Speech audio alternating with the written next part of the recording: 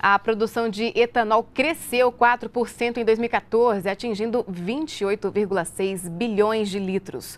O número superou o recorde de 2010, quando foram produzidos 27,9 bilhões de litros. Os dados são de estudos realizados pela empresa de pesquisa energética IPE e foram divulgados hoje.